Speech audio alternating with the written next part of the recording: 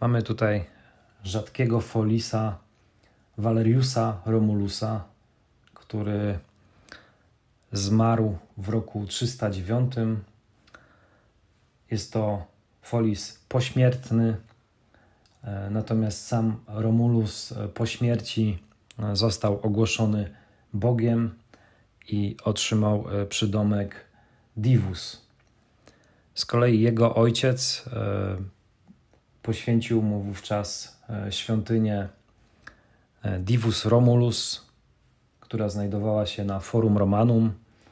I tutaj właśnie jest odniesienie do tej świątyni mm, jako grobowca z półotwartymi drzwiami i kopułą.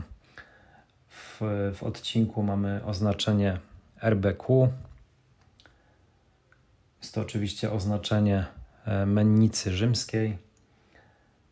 W serwisie mm, Coin Archives znaleźliśmy e, tylko 11 notowań e, tejże monety. Egzemplarz obiegowy, natomiast w pełni czytelny, z widocznym detalem.